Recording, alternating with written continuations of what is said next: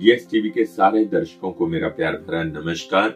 और किशोरदा इडिए जी हाँ किशोरदा जिनकी गायकी ने मानो हर किसी को गुदगुदाया, हर किसी को हंसाया। लेकिन आज के दिन, यानी कि तेरह अक्टूबर को, वो हमें छोड़कर चले गए।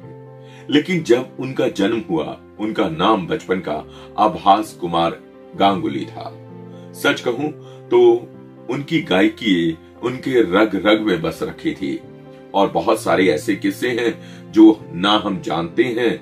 और सच कहें तो हमेशा उन्होंने गायकी इस तरीके से की कि हर किसी के दिल में बस जाए।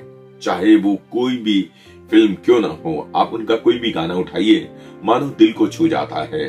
एक बार का किस्सा ये है कि वो कैंटीन से हमेशा उधार चीज़ें खाया करते थे और उनके ऊपर जो कर्ज हो चुका था पाँच रुपए बारह आना और वो प्लेट और चमचा लेकर यही गाया करते थे, पाँच रुपए बारह आना पाँच रुपए बारह आना और ये गाना अपने आप में बहुत हिट रहा। मैं सच कहूँ, उन्होंने हमेशा हर कलाकार के साथ रहकर यही दर्शाया, कला वो होती है जो कलाकार अपने सिर पर न चढ़ने दे।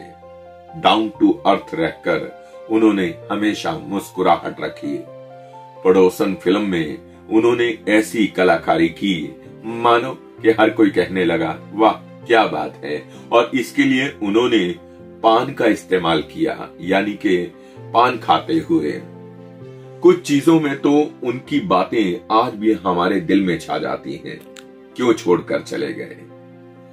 शायद गीत उनके आज भी हमें गुनगुनाने के लिए मजबूर कर देते हैं। किशोर दा को हमारा प्यार भरा सलाम।